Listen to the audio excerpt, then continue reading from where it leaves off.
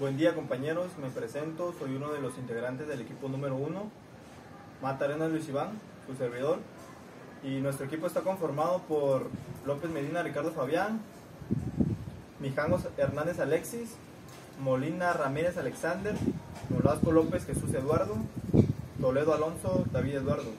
Somos alumnos que actualmente cursamos el sexto semestre de la carrera de Ingeniería Mecánica. Nosotros presentamos el prototipo basado en la materia de vibraciones mecánicas que presenta la teoría del movimiento armónico simple, que consiste en el movimiento oscilatorio. Este puede repetirse con regularidad, como en el caso de un péndulo simple, pero en este caso se utilizó sistema de resorte masa. Los materiales que utilizamos en este proyecto son medio tramo de PTR de 3 metros, un tramo de alambrón de 10 centímetros, un resorte común, cinchos, electrodos E6013, un disco de corte, un disco de desbaste, pintura de aerosol, un agudo de un peso de 1 kilogramo, un imán de 0.4 kilogramos. El sistema masa resorte está constituido por un resorte metálico unido a una base fabricada por PTR. La masa que se utilizará es un agudo que está unida por medio de un resorte para empezar el movimiento oscilatorio. Pasaremos a la parte experimental. Tenemos un agudo que tiene un peso de un kilogramo. Al engancharlo con el resorte cumple con una elongación de 36 centímetros. Ahora pasaremos a tomar el tiempo que tiene el sistema cuando la amplitud es de 20 centímetros. En total serían 56 centímetros.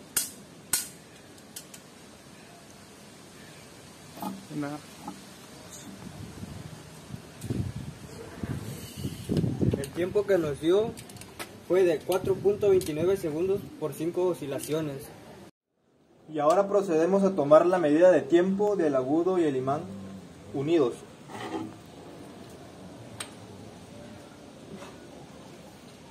Unidos tienen una masa de 1.4 kilogramos y una elongación de 40 centímetros. Repitiendo el proceso de 20 centímetros de amplitud, se estira hasta una longitud de 60 centímetros.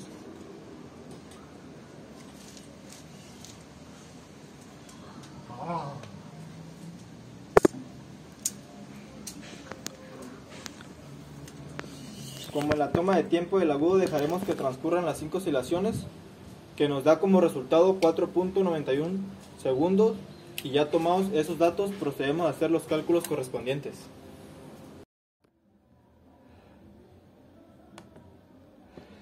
Bueno, uh, ya recabado los datos que vimos en el experimento y usando una amplitud de 20 centímetros o 0.2 metros para el agudo y, y el agudo con el imán, tenemos que el tiempo periódico en las 5 oscilaciones netas. Pero a nosotros nos interesa saber solamente por un periodo, así que para sacar un periodo tenemos que el tiempo neto dividido entre el número de oscilaciones, que en este caso sería 5.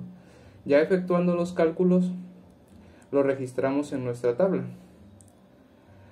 Y procedemos a calcular nuestra constante elástica que está, está regida por la ley de Hot, que nos dice que al estirar o comprimir un resorte aparecerá una fuerza recuperadora que será directamente proporcional a la elongación o deformación y de sentido opuesto al movimiento.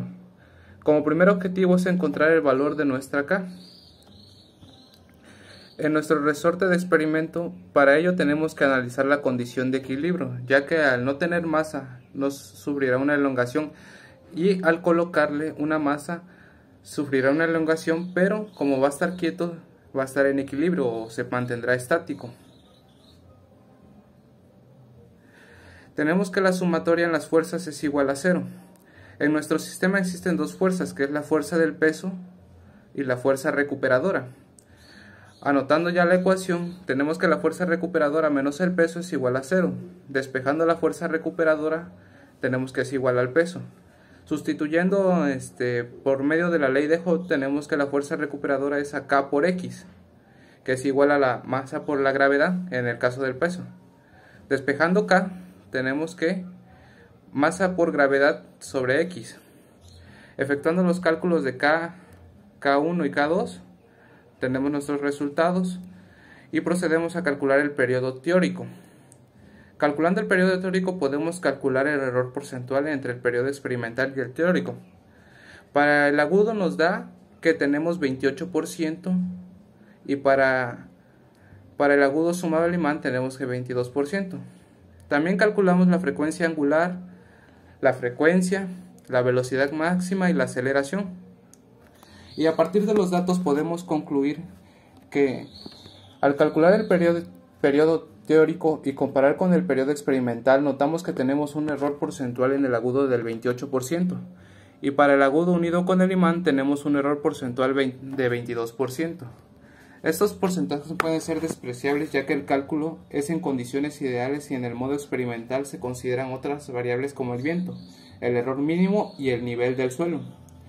Para calcular la constante de elasticidad del resorte K se puede hallar a través del cociente entre el peso de las masas y la longitud correspondiente, masa por gravedad sobre X. Y tomando varias veces una misma medida, sea del tiempo o longitud, permite obtener valores medios que reducen el margen de error, proporcionando resultados precisos para su respectivo análisis. El tratamiento del error permite obtener una estimación del porcentaje de medidas erróneas y ayuda a determinar la incertidumbre de ciertos valores de medición, lo cual ofrece un acercamiento al valor preciso que se está hallando.